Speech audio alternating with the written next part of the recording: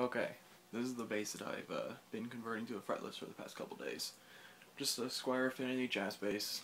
The it was pretty easy. Had a little problem with um, some of the polyurethane gunking up and stuff, but I know. I think in the end it turned. It looks pretty well. looks pretty good.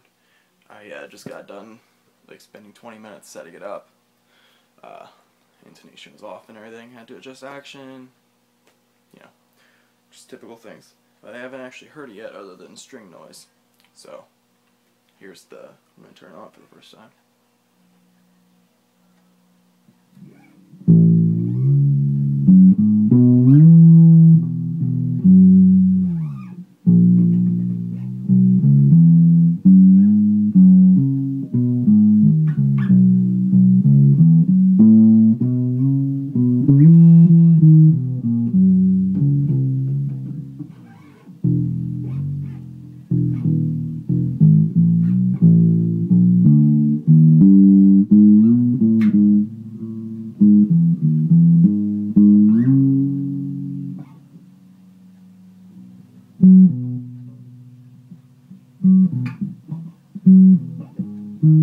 That's weird. I'm not used to playing on the frets quite yet.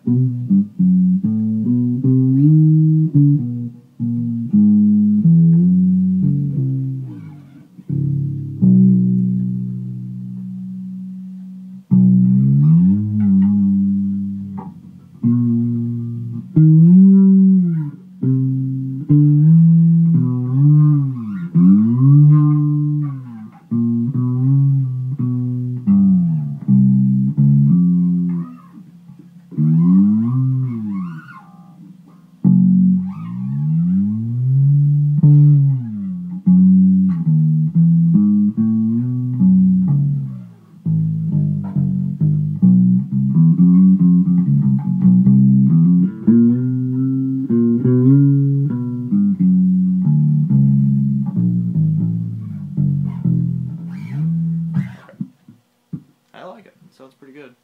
Wasn't too much work either. I'll have to tweak uh, uh, my EQ and all to make it sound better for this because this is set up for my this amps pretty much set up for my five string. Uh, yeah, not too bad for since I've never done anything like this before.